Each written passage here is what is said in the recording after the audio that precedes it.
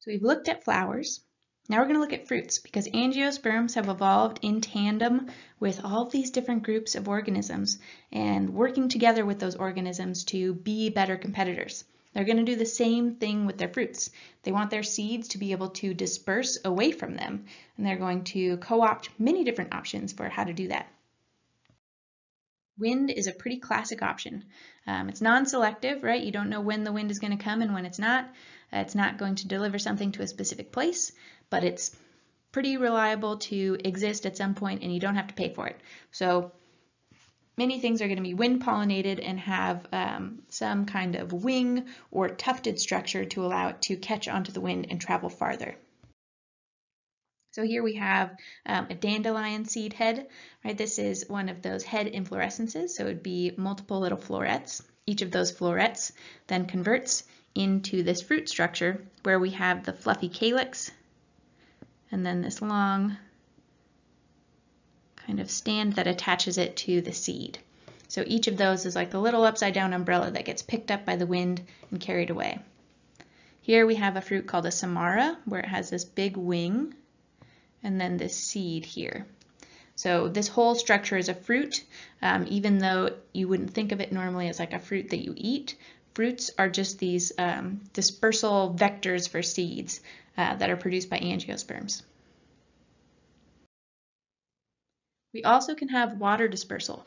This isn't super common, um, but it'd be more common in places where you'd have to rely on that. So if you are on an island and you want to get your offspring to another island, so you don't just overpopulate your one island where you live, it would be helpful if you could send your fruits into the water which is what coconuts do.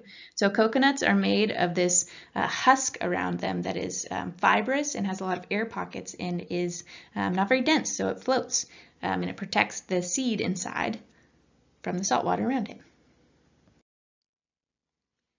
You could also have ballistic dispersal. Um, so one way or one kind of time you might want to use this, you can think about mistletoes. So dwarf mistletoes are these tiny parasitic plants that grow on trees and they infect those trees and eat them from the inside. And then when they're ready, they produce these fruits that explode and they're sticky.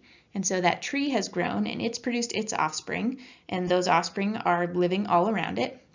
So when these Dwarf mistletoes are produced on them. They're up high in the air, they explode down, and they rain down on all the young trees, stick to them, start their infection, and then, you know, three to seven years later, they produce these parasitic plants outside of them and make their own fruits and explode onto all their offspring. So that is a pretty good dispersal method for them. They don't want to get far away because they want to find a susceptible host, which is likely close by.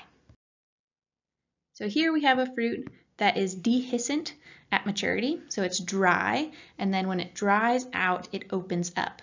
And when it opens, it's these used to be flat down, and when it opens, it splits along the seam and curls upward, so then it whoosh, hurls that seed out. So each of these used to contain a seed that then got hurled out into the environment. So that's a ballistic dispersal because it is shooting that seed off.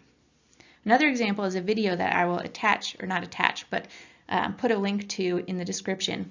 Um, this is wild cucumber. And so um, for wild cucumber, it builds up water pressure inside of the fruit. And then once that pressure is enough, it detaches itself via that pressure like a little rocket, shooting water and then hurling this um, fruit downward and shooting the seeds up. So there would be a bunch of seeds shot out here. Normally I play this video in class and I get really psyched because there's really funny music to it. So another option, and the one you're probably most familiar with, is animal ingestion. These are all the fruits that you think of as fruits, the things that are tasty, things that you want to eat. And so if you are a bird, those seeds are going to go through your system really fast, and you're going to poop them out, and they're going to land in this nice pile of fresh um, nitrogen-rich uh, material that you can then grow in, right? And you get dispersed all around. Other animals are going to be messy eaters, and so that's how they'll be good dispersers. Uh, we are not very good dispersers via ingestion, but we are good dispersers via ingestion in the way that um, we then want to eat more of those fruits, so we plant them. But we don't go, you know, eat the fruit, poop it outside, and let it grow. or I shouldn't say we, not all of us. And the last one we'll talk about is animal attachment. So you can't just say animal dispersed because animal ingestion is specifically geared toward getting an animal to try to eat the fruit, whereas animal attachment has more of a Velcro-like strategy where you are trying to um, get a passerby and then hitch a ride. And these are the fruits that you are very annoyed with because they get in your socks and they stab you in your feet and they itch um, and they get all up in your clothes. So burrs, barbs, bristles, things that are going to be sticky onto your clothes. And what that's intended for was originally animal fur.